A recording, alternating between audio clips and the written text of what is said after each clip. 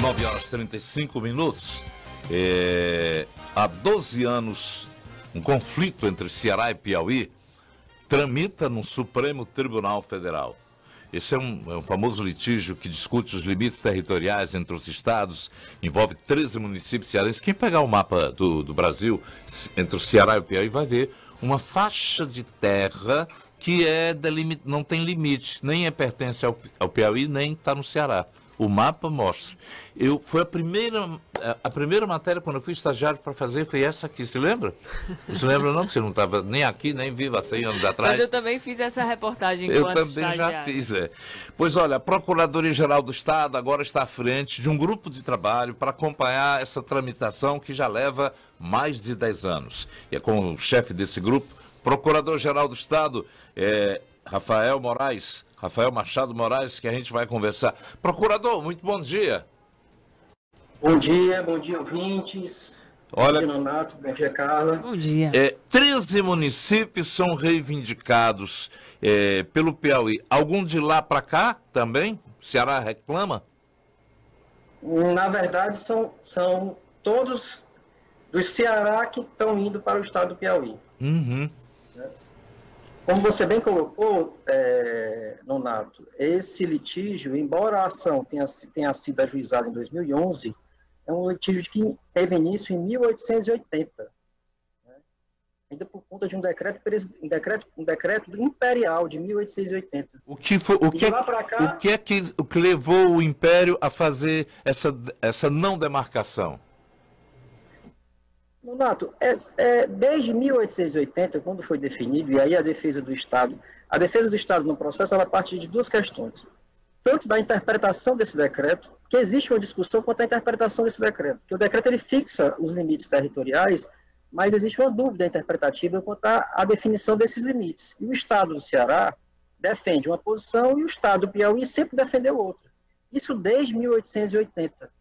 Em 1920, se tentou um acordo para definir essa interpretação acerca das, dos limites territoriais e nunca se, nunca se chegou a essa definição.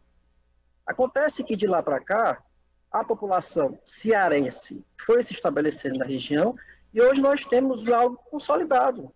Né? Nós temos 13 municípios cearenses com pessoas que se identificam como cearenses culturalmente, socialmente, a economia da região, ou seja, nós temos aí, há mais de 150 anos, pessoas que se identificam com cearense envolvidas numa disputa, que a qualquer momento podem é, é, é, ser surpreendidas tendo que mudar de Estado, que é uma coisa que o Estado do Ceará jamais pensa e cogita.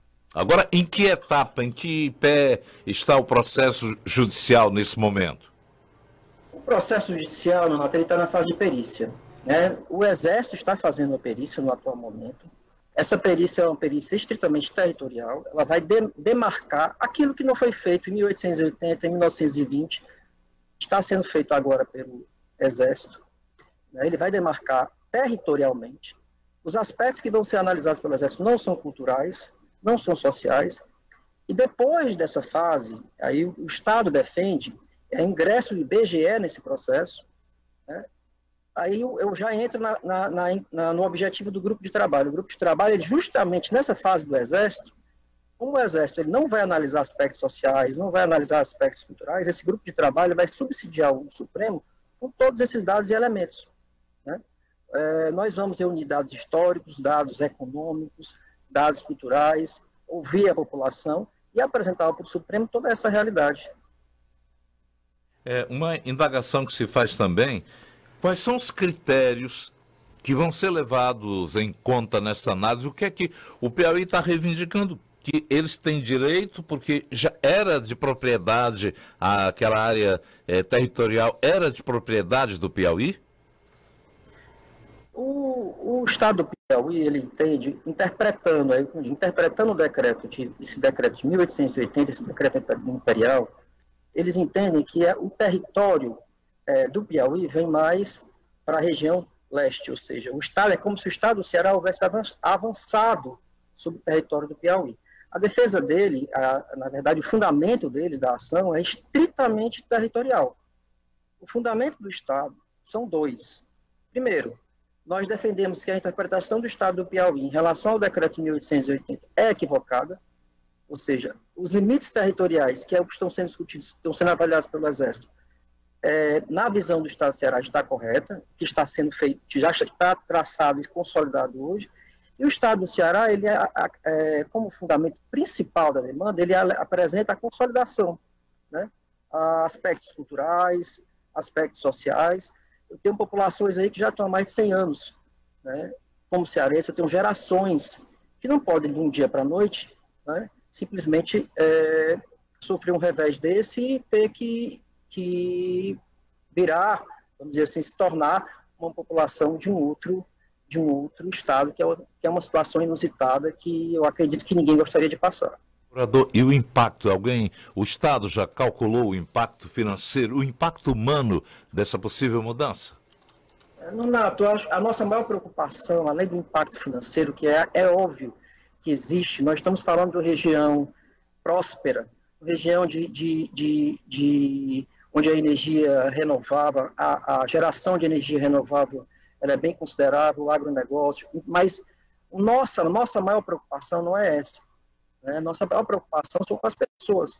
O Estado ainda, é óbvio que haverá um impacto, é óbvio que será avaliado esse impacto, mas no momento, a nossa maior preocupação de levar para o Supremo não é o impacto econômico. A nossa maior preocupação é levar o impacto, levar para o Supremo o impacto humano, né? É como essas pessoas, é o que é, é, além de terras, não estamos tratando apenas de um conflito de terras, estamos tratando de um conflito envolvendo pessoas.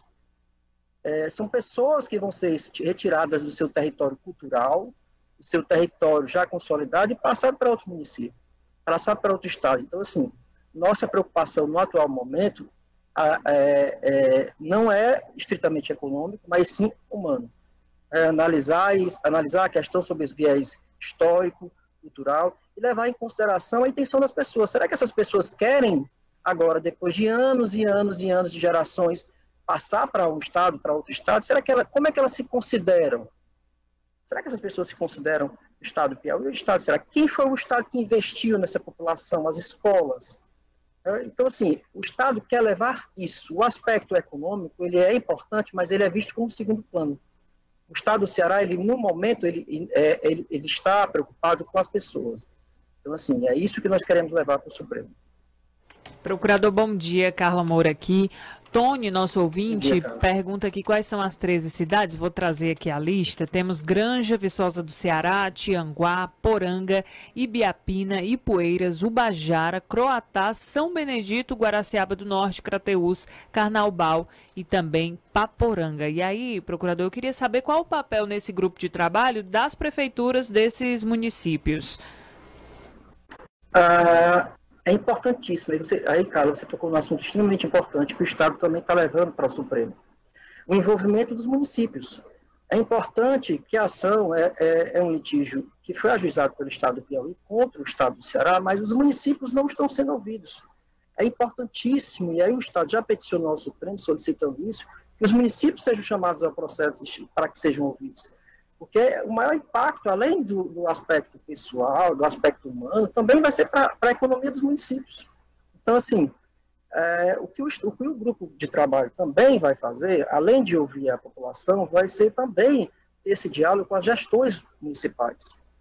Para que, as, com as gestões municipais, conscientizando as gestões municipais desse impacto, de tudo que poderá ser acarretado para a economia e socialmente para o município, os municípios também entrem nesse processo e para levar para o Supremo essa questão. É importante que o Supremo ele, ele também tenha consciência dos impactos não só para as pessoas, mas também para as gestões. Interessante, você, a, a Carla citou a lista aí, Carnaubal, Crateús também entraria, Croatá, Guaraciaba do Norte, Grande Biapina, Poeiras, Viçosa, Bajara, Tianguá, São Benedito, Poranga e Paporanga. É, são municípios que têm uma ligação é, cultural que já é, é, é de, desde, o, desde da colônia, né? Então vai ser uma alteração que realmente. Isso tem assim uma expectativa de quando vai ser definida? Nato, a gente, nós, nós tivemos há 15 dias despachando, despachando com a ministra Carmen Lúcia do Supremo e justamente solicitando que o IBGE ingressasse no processo para fazer nossa perícia. Não existe, no momento, uma expectativa de, de, de, de, julgamento do processo pela sua complexidade, e nem a própria ministra ela consegue dar essa expectativa. A nossa preocupação é, não só não é, não é propriamente pelo tempo de demora, é para que o direito do Estado, propriamente o direito das pessoas, ele seja muito bem apresentado no processo, por mais que isso demore. Não adianta a gente ter um processo que se julgue rápido e que o direito eles não seja muito bem demonstrado e apresentado e o julgamento seja equivocado. Então, assim, o que o Estado pretende é tempo que durar que a gente consiga apresentar todos os elementos que nós entendemos importantes e relevantes nesse processo. E é isso que o Estado vai fazer. E o grupo de trabalho vai vir para isso. Eu vou agradecer a sua esclarecedora entrevista aqui, nos colocando a par de toda uma situação que já vem de longe, desde 1880, e caso é, se concretize, vai afetar, por exemplo, das 1.577 escolas localizadas nos municípios disputados, 46 estão na área de litígio. A decisão também pode transferir 122 quilômetros de estradas, 87 torres eólicas, 191 poços e mil estabelecimentos agropecuários cearenses para o Piauí. De acordo com o cálculo feito na proposta é preliminar do Exército e lá no Supremo, a relatora da, do, da ação é a ministra Carmen Lúcia, com quem você realmente é, citou aqui. Obrigado você, procurador. Um grande abraço. Obrigado, Nonato. Obrigado, Carla. Bom dia novamente aos ouvintes. Grande abraço. É uma questão que, vez por outra, vem à tona, porque essas pessoas convivem com a possibilidade de terem a sua vida alterada, de pagar impostos para um outro estado, de é, requisitarem ações públicas e políticas e públicas exatamente de um novo, de novos mandatários, de ter a sua vida eleitoral toda alterada também. Inclusive o Tiago, nosso ouvinte, comenta aqui, né? Nesse caso, um plebiscito poderia resolver esse caso de disputa, ouvir, saber o que, é que o povo quer. Né, o que, é que o povo também acha dessa troca, também é a opinião da Fátima Barros, nosso ouvinte. Também concordo.